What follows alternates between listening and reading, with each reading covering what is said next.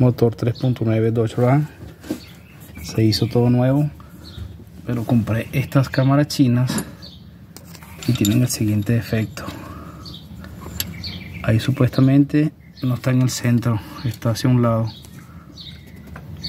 Y pegan aquí aquí pega la varilla de subir la no tienen control de calidad en fabricación. Y cuando pongo la el lifter. Cuando busco poner el lifter vamos a aquí.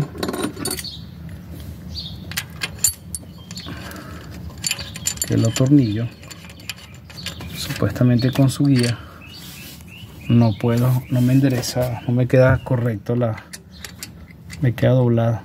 Mira mira.